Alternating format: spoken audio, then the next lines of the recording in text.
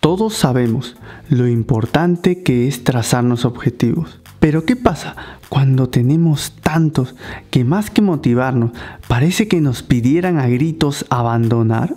¿Sabías que no es necesario alcanzarlos todos para conseguir lo que quieres en la vida? Hola, ¿qué tal? Amantes de la productividad. Mi nombre es Daniel Rosán y les doy la bienvenida a una nueva edición de Día Productivo. El día de hoy quiero compartirles chicos los mejores aprendizajes que yo me llevé al leer el libro Solo una cosa, también conocido como Lo único, de Gary Keller. Este libro chicos tiene la premisa base de que todo lo que hacemos en nuestro día a día, en cualquier área de nuestra vida, solo necesitamos centrarlo en una única tarea. Y es que seguro nos ha pasado que durante el día a día empezamos con toda la energía a tope o llenos y diciendo vamos a comernos el mundo, pero luego durante, mientras vamos avanzando aparecen cosas, correos electrónicos o también aparecen mensajes de texto, llamadas telefónicas o también reuniones imprevistas en el trabajo que no esperábamos, todo eso se empieza a aparecer y nosotros no sabemos cómo gestionarlas y empezamos a querer abarcar todo y al final terminamos avanzando muy poco en, en esas áreas, terminamos incumpliendo plazos, llenándonos de estrés y ansiedad por todo eso que está pasando, hasta que finalmente empezamos a tomar tiempo de nuestra vida personal y ya no disfrutamos prácticamente de nada. Entonces la premisa acá del libro, como les digo, es centrarnos en una única tarea, en esa, en esa área importante que tú quieras trabajar, centrémonos en una única tarea y enfoquémonos en eso.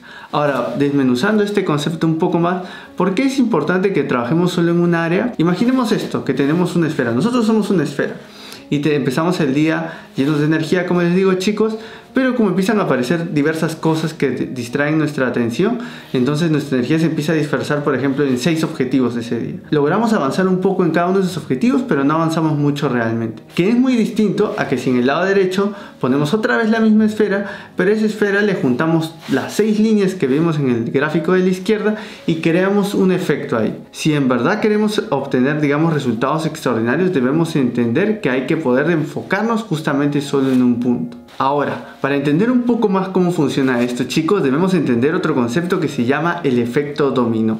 En 1983 se descubrió que una ficha de dominó podía empujar otras fichas mucho más grandes. De hecho, años más tarde se creó un experimento donde se puso 8, fichas de dominó en fila y cada una era 50% más grande que la anterior. Se tiró la más pequeña, que era de unos 5 centímetros más o menos, y luego se vio cómo logró tumbar hasta la octava ficha. Ahora, lo interesante es que si esto es verdad y esto funcionó como se vio en el experimento, si nosotros hubiéramos seguido la progresión, en la ficha 23 hubiéramos eliminado una ficha de dominó tan grande como la Torre Eiffel. Si hubiéramos avanzado en la ficha 31, hubiéramos botado una ficha tan grande incluso como el Monte Everest. Y si hubiéramos seguido avanzando esa progresión, en la ficha 57 hubiéramos botado una ficha tan alta como la distancia que hay justamente de la Tierra hacia la Luna. Y es que obtener resultados extraordinarios es como crear un efecto dominó en tu vida. O sea, alineas prioridades Identificas esa primera ficha que necesitas mover y la golpeas hasta que caiga. Y es así como se van a empezar a caer todas las demás conforme sigas trabajando, obviamente. Ahora, acá surge una duda porque uno puede decir, entonces, ¿cuál sería mi primera ficha dominó? Y para eso el autor nos da un concepto más y es el más potente que yo he rescatado del libro.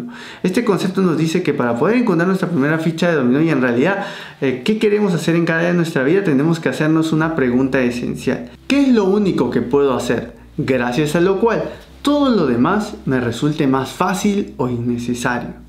Esta pregunta nos va a dar la visión general. Por ejemplo, si nosotros en nuestras finanzas queremos mejorar, sería la pregunta, ¿qué es lo único que puedo hacer en mis finanzas personales, gracias a lo cual todo lo demás me resulte más fácil o innecesario? Seguramente algunos les dirá ahorrar, otros invertir, pero por fin encontrarán esa respuesta y dónde tienen que enfocar su visión. Ahora, no es solo encontrar una visión con esta pregunta, hay que hacernos una segunda pregunta, que es una pequeña en realidad variante de la primera, pero que nos va a ayudar ya a hacerlo más práctico, que es justamente cosas como las que buscamos en día productivo. Y esa segunda pregunta sería, ¿qué es lo único que puedo hacer ahora mismo en el área de mi interés, gracias a lo cual todo lo demás me resulte más fácil o innecesario. Ahora chicos, vayamos a un ejemplo más personal y ahí nos usemos un área de nuestra vida como la vida personal y digamos, ¿qué es lo único que puedo hacer en mi vida personal? Gracias a lo cual todo lo demás me resulte más fácil o innecesario. Por ejemplo, podría salir trabajar en mi desarrollo personal, que suena lógico, ¿no? Si, yo quiero crecer como persona, lo más práctico es que trabaje en mi desarrollo personal. Y ahora sigamos con la siguiente parte. La siguiente pregunta sería, ¿qué es lo único que puedo hacer ahora mismo para trabajar en mi desarrollo personal? Gracias a lo cual todo lo demás me resulte más fácil o innecesario. Y la respuesta podría ser suscribirme a Día Productivo para tener los mejores resúmenes de libros que puedan haber.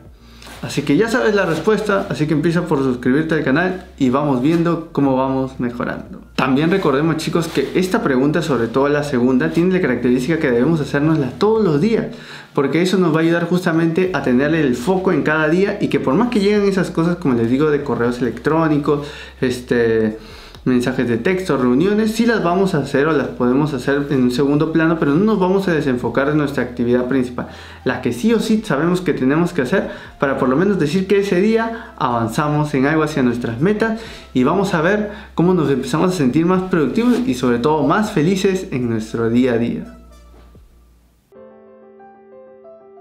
Si tuviera que llevarme una reflexión final del libro, chicos, yo creo que sería el tema de liberarnos la culpa. Vivimos siempre en una sociedad que nos impulsa cada día a querer hacer más y más.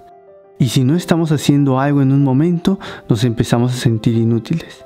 Agradezco a Gary Keller porque a través de este libro a mí me enseñó que justamente no es necesario hacer todo lo que nos llegue durante todo el día para poder alcanzar lo que queremos que simplemente tenemos que saber cómo reorganizar nuestras prioridades, buscar justamente cuáles se alinean a nuestros objetivos y una vez con eso en mente, buscar lanzar nuestra primera ficha de dominó.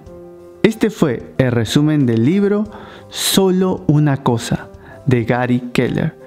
Si les gustó todo lo que hemos visto alrededor de este video, les estoy dejando acá abajo en la descripción un enlace, un PDF completamente gratis con el resumen del libro. Y si ya estabas suscrito a la lista de correos de Día Productivo, no te preocupes que esto ya te lo envié a tu buzón al momento que se lanzó el video.